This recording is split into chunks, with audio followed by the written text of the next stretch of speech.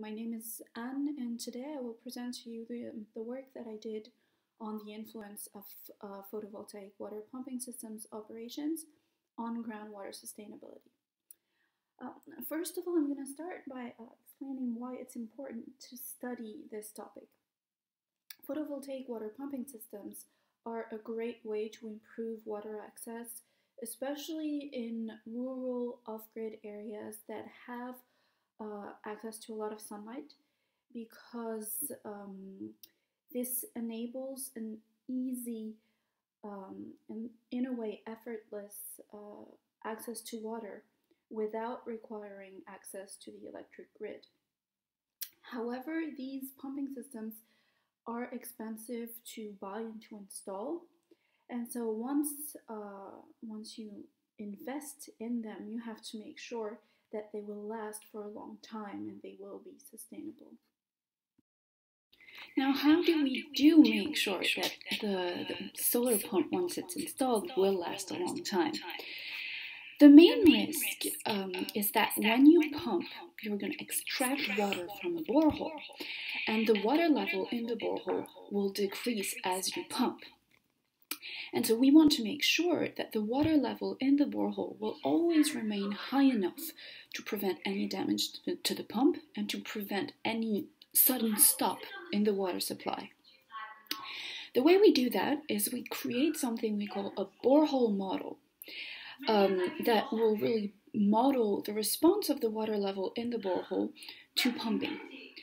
Um, the borehole models are created using pumping tests.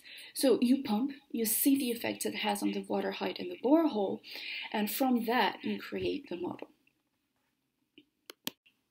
Now, because we already have models, why is that a problem for us and with solar pumps? Well, basically, uh, the pumping tests that are currently being done require a constant flow rate for a certain duration. And because we have solar pumps, we can't have constant flow rates because the flow rates will, will really follow the curve of the sun. If you look at this graph, you can see the irradiance over two days. And now if you look at the second graph, over the same two days, you have the values of the pumped flow rates, and they're directly proportional to the irradiance. So we can't use the, the classic pumping tests to train the borehole models. And because of that, um, the models are done and trained initially before the, the solar pump is installed, but then it's just kept that way and it's never um, recalibrated, even though the borehole might change in behavior. The question from there is is it even possible to use solar pumping data in order to train a borehole model? The answer is yes. That was one of my first tasks.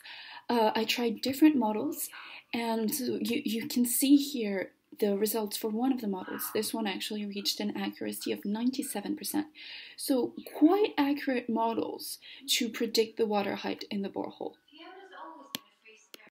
Now that we know we can use solar pumping data to train a borehole model, it means that we can design a solar pumping test. Um, how would that work? Simply over a day, you would just collect the pumping data from the regular use of the pumping system. Use that data to train the borehole, and this would recalibrate regularly the model that you have. This means that you can detect early on any problem that you have with the pump or with the borehole before it's too late, meaning before it either halts completely the supply in water or before you have to do any very expensive maintenance operations. So, what does this mean for Mark? Well, simply that he can install a solar pump in his community um, with the guarantee that he will be able to track the borehole's health throughout its lifetime. Now I'll leave the rest to Wesley. Thank you all for listening.